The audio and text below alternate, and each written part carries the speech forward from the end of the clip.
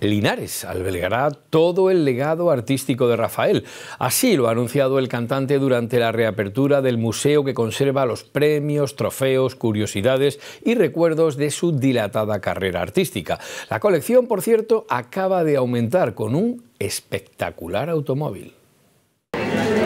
Es magia, pero un coche tan descomunal como este también se incluye entre las paredes que albergan los miles de recuerdos que contiene el Museo Rafael de Linares. Ha sido él, el propio artista, el que ha hablado de la historia de este Lincoln Continental que le regaló en 1968 el productor y director de cine Vicente Escribá, tras el rodaje y el éxito de público de la película El Golfo. Era el coche más vanguardista del momento, un coche bandera en los Estados Unidos.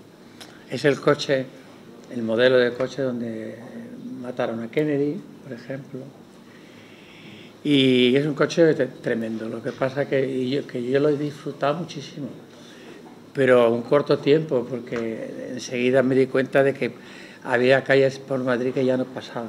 Es la última incorporación a este museo de Rafael. Vendrán muchas más. No lo sé si hay espacio suficiente o no, porque tampoco voy contándolo, ¿no?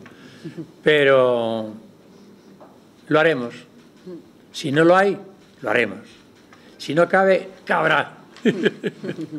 Rafael ha expresado que quiere que el mismo público que le sigue por los escenarios o por cualquier lugar tenga este lugar para reencontrarse con su vida y con todo aquello que la vida le ha ido dejando como artista.